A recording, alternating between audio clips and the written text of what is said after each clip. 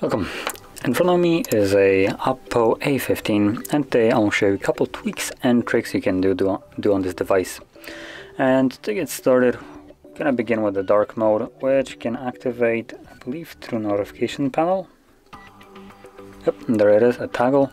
You can simply tap on it and this will turn on system-wide dark mode, uh, which includes also things like your default applications. So as you can see, dialer, messages, Facebook, that's kind of weird this isn't actually affected.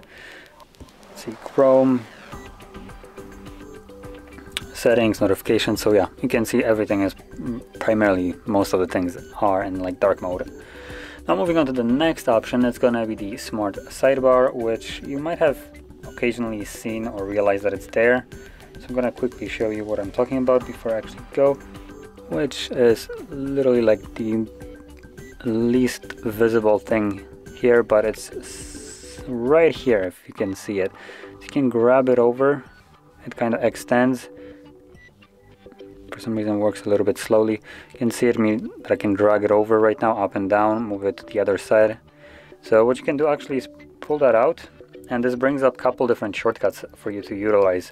So you can have application shortcuts right here which can be accessed basically in any kind of application. You have also screenshots and screen recording, I believe you can also open up a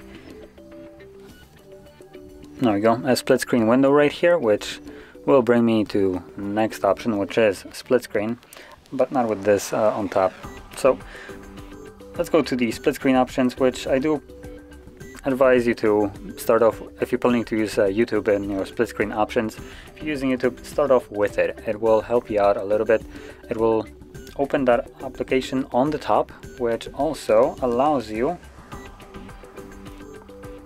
to basically close off any kind of application, go home and do whatever you want, while YouTube will be still able to play whatever is playing in there, even though it's like super minimized and not actually right now in a functional split screen, it will still uh, keep playing music.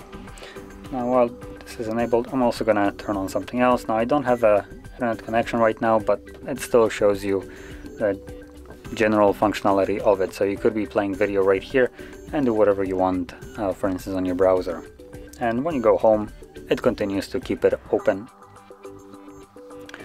Now, anyway, moving on to the next option, it's to be the uh, what they call icon pull down gesture.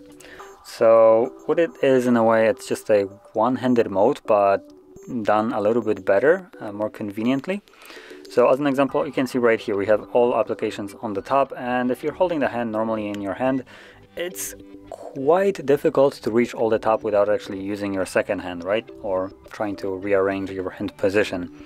So what you can do here is basically on the edge of the screen, swipe up. And as you can see, it literally moves the icons all the way for you to easily reach them. And without actually lifting up your finger, you can select which kind of application you want to open and then let go. So you basically hover over it and then you let go and it will automatically open that application. Fairly nice function.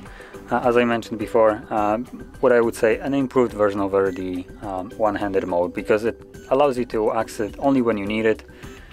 For instance, you might not need it here and it doesn't really shrink the display itself just allows you to reach it uh, easier for that specific application that you want to open. Uh, now, anyway, going to next option, it's actually, well, touching back up on one other option, which is the split screen, uh, which I kind of forgot about, um, which you can do with split screen apart from opening it up as you just seen me do at the beginning, which is by tapping on the three dots with an application that can be open in split screen. I have right here, what you can do is open that application and using three fingers swipe up and it automatically opens into this split screen, which is fairly nice. Now there's also a shortcut for uh, three fingers for a screenshot by swiping down, if that is something that you would be looking for.